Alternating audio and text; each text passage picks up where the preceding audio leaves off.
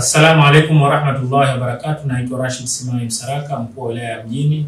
Naomba nichukue nafasi hii kwa heshima na taadhima, kwanza kabisa kumshukuru rais wetu wa Zanzibar na mwenyekiti wa Baraza la Mapinduzi, Mheshimiwa Dr. Hussein Ali Hassan Mwinyi pamoja na Mheshimiwa Rais wa Jamhuri ya Muungano wa Tanzania Mama Samia Suluhu Hassan kwa kazi kubwa wanazoendelea kuzifanya za kuifanya nchi yetu ipige hatua za kiuchumi pamoja na kuendeleza uh, utulivu na amani iliyopo nchini kwetu. Jambo la pili ambalo nilitaka niliseme kwa muktadha wa siku ya leo, napenda kuchukua nafasi hii kuwaalika wananchi wote wa wilaya ya Mjini pamoja na maeneo ya karibu na wilaya yetu ya Mjini na Zanzibar nzima kwa ujumla kushiriki katika tukio moja kubwa kabisa na tukio la kihistoria la uwekaji wa jiwe la msingi la afisi ya uhamiaji Zanzibar.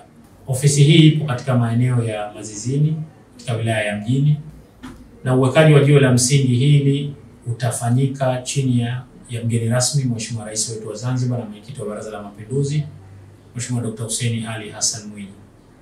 Pamoja na Mheshimiwa Dr. Hussein Ali Hassan Mwinyi ataambatana pia na Mheshimiwa Waziri wa Mambo ya Ndani Mheshimiwa Masauni pamoja na mawaziri wengine kutoka serikali ya Jamhuri ya Muungano wa Tanzania na mawaziri mbalimbali kutoka katika serikali yetu ya Mapinduzi ya Zanzibar.